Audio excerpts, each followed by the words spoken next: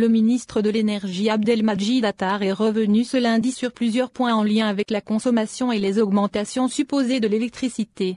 Intervenant sur les ondes de la chaîne 1 de la radio nationale, le ministre a fait savoir que la consommation de l'électricité a baissé en comparaison aux dernières années, d'autant plus que le volume de production a atteint les 17 000 MW.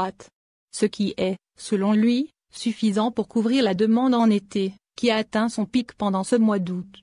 Concernant les prix de l'électricité, Attar a nié l'existence d'un projet de révision ou d'augmentation des prix de consommation pour les ménages. En revanche, un projet de révision des prix pour certains gros consommateurs de l'électricité et du gaz est en cours de préparation. Lors de son passage, hier dimanche, à l'émission Lisa du soir d'Algérie, le premier responsable du secteur de l'énergie a indiqué que les consommateurs ciblés par cette augmentation sont les hôtels 5 étoiles ou encore des complexes touristiques. Le ministre relève qu'il n'est pas concevable qu'un client d'un hôtel UP paye les mêmes tarifs qu'un citoyen lambda.